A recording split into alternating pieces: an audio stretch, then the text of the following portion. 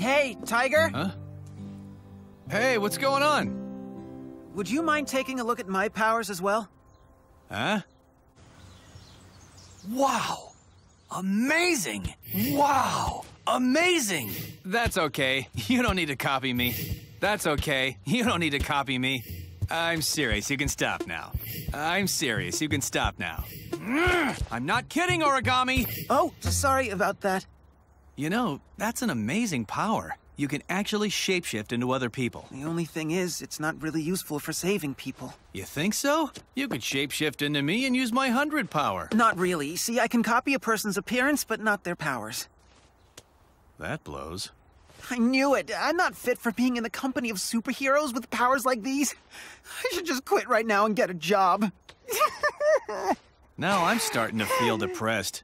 Could you stop crying with my face there? Uh, yeah, sorry. Maybe you shouldn't obsess over it. Huh? I'm sure there are some situations that your power would be perfect for. Actually, someone once told me the same thing. Huh? That someone was a friend of mine who was a next at the top of our class. But I didn't take his words seriously. Really? But the guy never went on to become a hero. The fact that you became one is important. It means that you were better suited for this work than he was. That's not true. Of course it is. No, really, you're mistaken. Ah, don't be so modest. Believe me, I'm telling the truth. What? He should have become the hero, not me.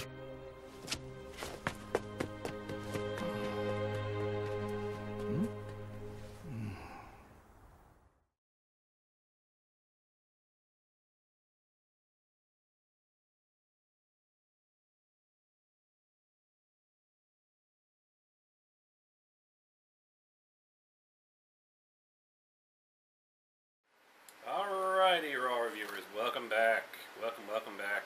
And we're looking at Origami Cyclone, of course, like all SH Figuarts. A little bit of tape on the side, remove it, slide it out.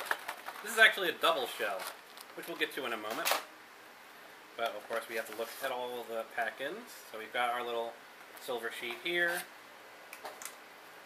Got the instruction manual.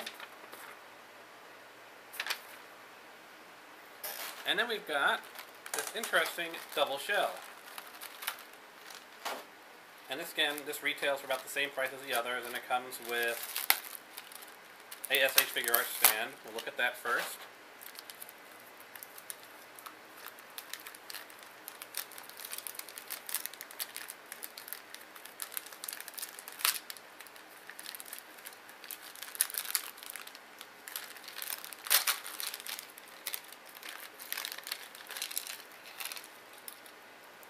Alright, so about the same as all the other ones that we have gotten. It has a little self-clip one. It's got the base, which of course you can clip, change the clip out po points if you like. Saying Origami Cyclone. Ivan Karelin, uh, it looks like. We have got the articulated stand here.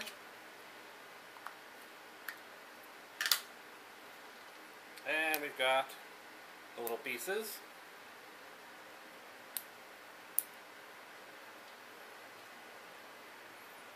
And then peg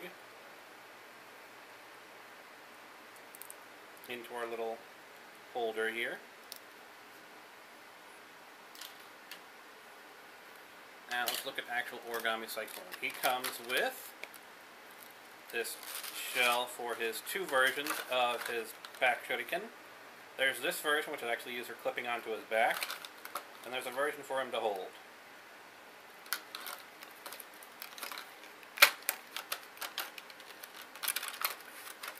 Set those aside, set that aside, go over to the actual clamshell that has Origami Cyclone in it. Always kind of annoying opening these things, I'm afraid stuff's going to go flying out. And sometimes it actually does. Careful, careful, careful. Ah, there we go.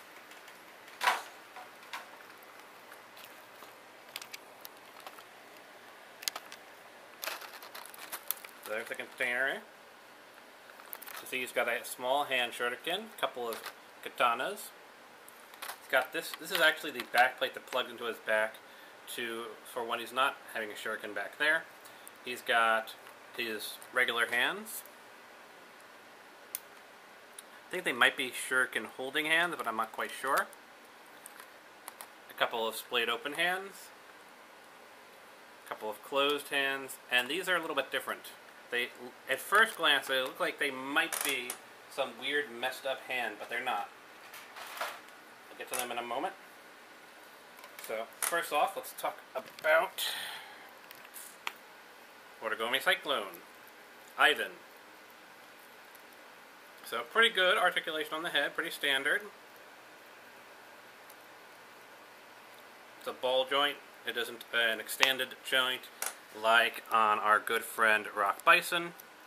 He has got some, he's got some standard ball joints. Let's see if I can get the camera in there to peg these on, but you really can't move the shoulder braces that much. They're mainly just there to keep them out of the way. So you can move them a bit, but it's not for like super movement, it's just so you can keep them out of the way when you're positioning the arms. And yes, that is supposed to look like flesh tones, but it's not supposed to be flesh tones. In the show, it's a full suit of body armor with this fake flesh on it to go to complete his look. He is in a full, fully contained, full body, powered armor. Let's get this little bit of plastic off of him.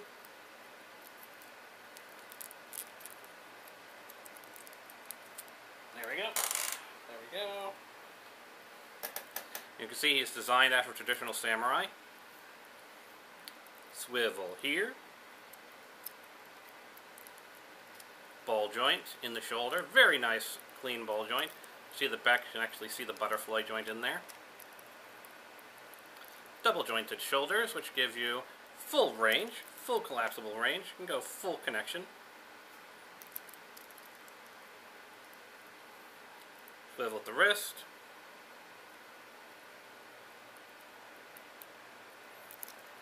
Same thing on the other side, just with different paint apps.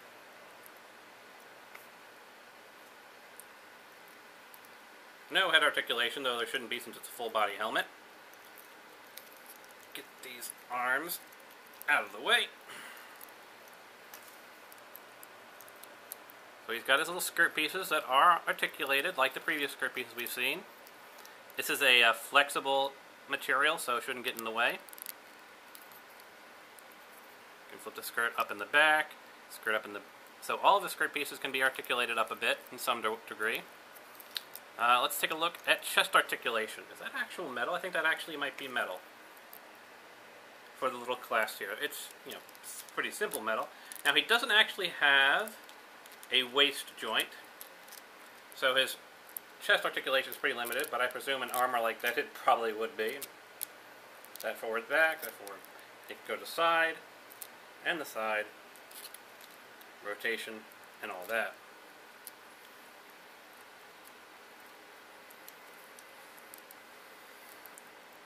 Can go out that far, maybe a little bit further if we were to pop the skirt pieces off. That far forward, which is actually pretty good. He's got pretty far forward rotation. You can go a little bit back, good degree back.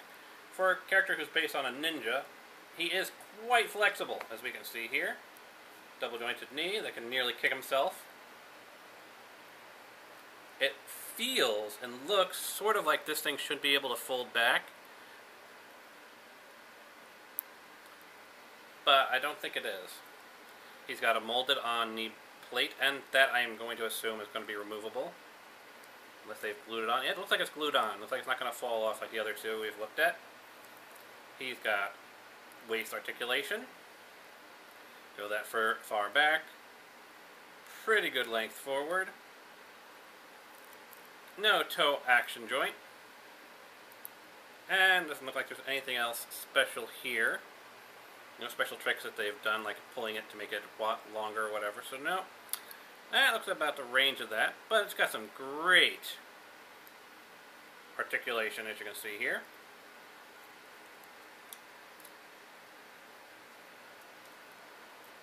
Now, let's look at the key points here.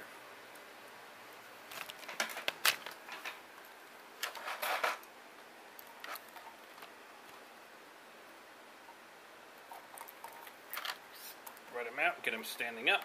Come on, Ivan. Stand up for your audience. Let them see you while I get to your pieces. So you have two options if you want to put the shuriken on his back. Or rather, you have two options for the shuriken on his back. You have a little peg here, a little piece here. Stick that on there, and it looks like he's removed the shuriken, and he's just got the, the holder back there.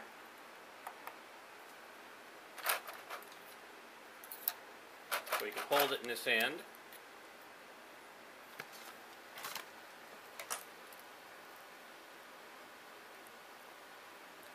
Trying to see if there's a little hold in his hand to hold the shuriken, but it doesn't look like there is. I'm sure one of his alternate hands is designed for that. It is a sharp piece, like most Figuarts. Or, if you prefer, you can peg it onto his back. Of course, you can twist it however you like.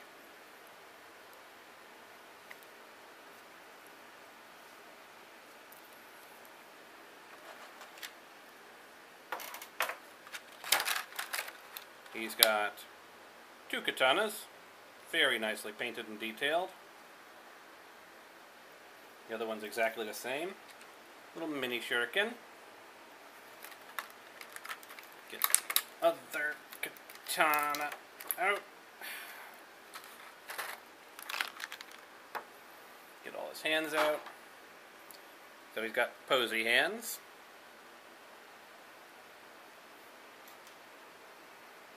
Alternate, the other posy hand. Ah, yes. Now I can see it. This is the empty one for holding the shurikens, whether large or small. It's got two of those. So you can have them carrying the large shuriken in one hand and the small shuriken in the other. And then we get to these interesting little pieces, which are actually a bit different than what you might expect. You see, the swords can actually be pulled off from their pegs. Interestingly, the base plastic for the swords is this flesh tone. It's kind of different. There we go. Pull that out. And basically what you're going to do is peg them onto these little things here.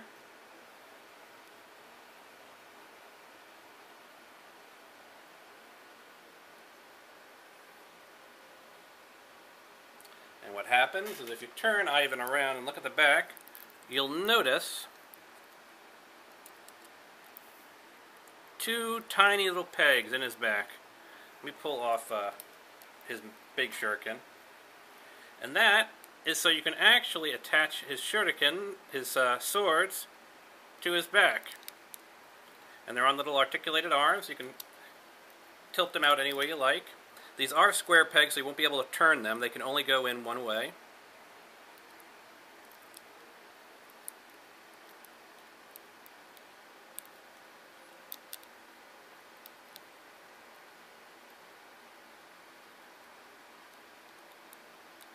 It's a little tricky getting this other one in there, but it should get in there in a second.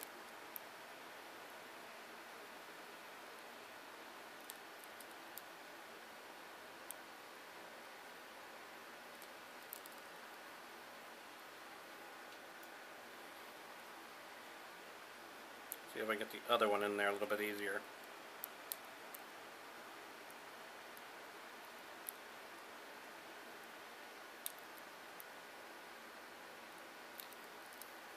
Uh, you get the idea. They're designed so you can peg his swords into the back, like so, and you can articulate them out however you like. So he's got his swords actually sheathed in his back. And you could do something like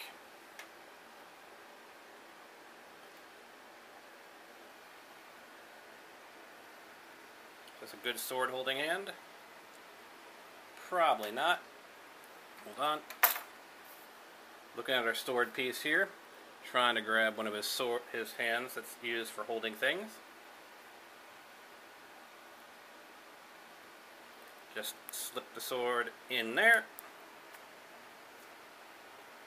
take that little peg off, reattach the blade. Other way. Otherwise he'll be attacking with the blunt end of the sword. Pop off Ivan's wrist. Attach the hand. And now we've got Ivan carrying one of his swords.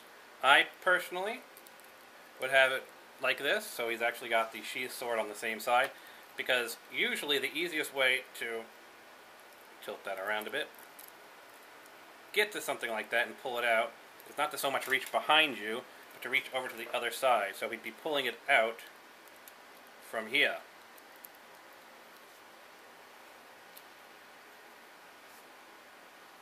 The other one being on the opposite side, so of course you do a crossbow. And of course you could do the other way around, but for me that seems the, mo the easiest, lo most logical way of doing it. And of course, we can switch out his big, his other hand here with his other item holding hand.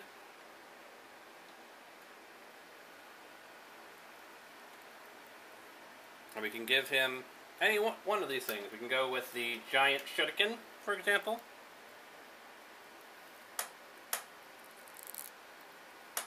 Just wedge it in there.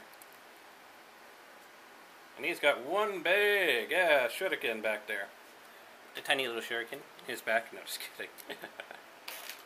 or we can stick the mini shuriken in there. It's a sharp item. Be careful with that.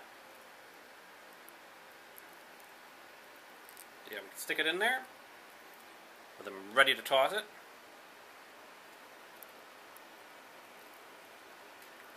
Using the various swivels and whatnot, and could have been a nice actiony pose.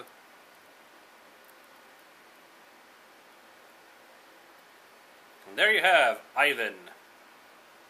And of course you can mix and match these as you like. He is a very heavily armed superhero. So there you go, folks. Ivan. Origami Cyclone. Peace out.